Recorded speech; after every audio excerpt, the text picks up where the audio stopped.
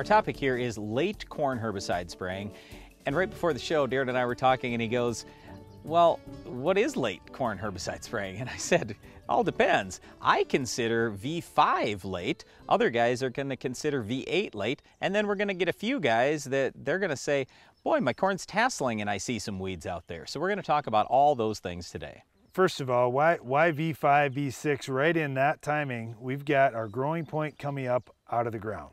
So now our growing point is up and above the ground and we've got to be more cautious with our plant. Some will say, Brian, we've even got to be more cautious early because ear shoots are going to start to initiate and At all those things are V3, going yep. to start happening inside the I agree. plant. And there are farmers I know that won't spray after V3 because they just don't want to put stress on the crop. So I do want to think about it that way. I don't want to think about it, well, what does the label allow? Just because a label may say V8, for example, doesn't mean that's the best time to get the most yield and most profit for you. We suggest spraying as early as you can. Do everything you can to get an early crop canopy so you don't have late season problems. But here we are, we're getting on in the season. Let's talk about our late options.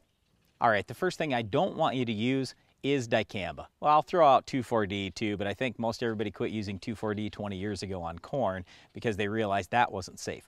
Well, straight dicamba isn't very safe past V3 either. I realize the label says up to V5, but we really want that done by V3 because, like Darren said, ear shoots are initiated there.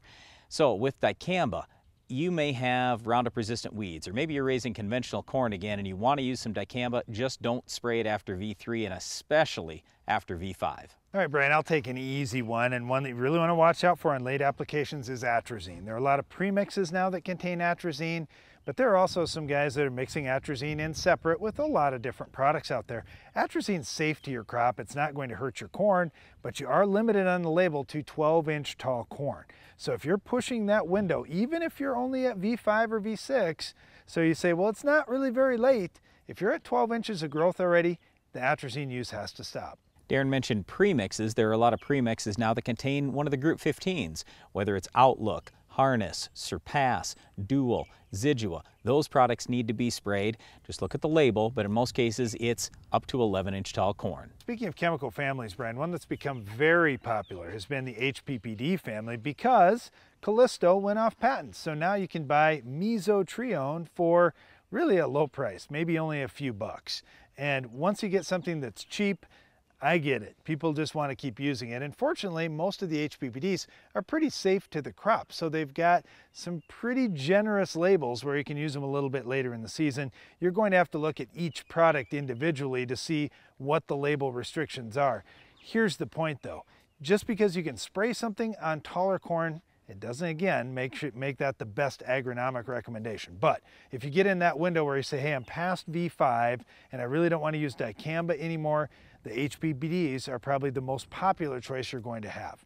Now, when it comes to weed control with those HPPDs, they're not great on perennial weeds. They're not great on the viney type of weeds either. So if you've got a weed that tends to vine out, in general, the HPPDs are a little bit weaker on those. But when we look at cocklebur, sunflower, velvet leaf, even a lot of the Roundup resistant weeds like ragweed and pigweeds, if you get them small, in most cases, HPPDs are gonna work just fine. Just be cautious. There are some weeds beginning to be resistant to this class of chemistry. If you've got that happening in your area, or if you just wanna make sure it doesn't happen to you, try and find another mode of action that you could mix into. All right, I've got three last things. First, Buctril is actually labeled up to 36 inch tall corn. The problem is there isn't even a name brand Buctril anymore. There's just generic bromoxynil out there. Brox is one of the products we talk about quite often. The challenge when corn gets really big though is you're probably gonna need drop nozzles to get down and get coverage.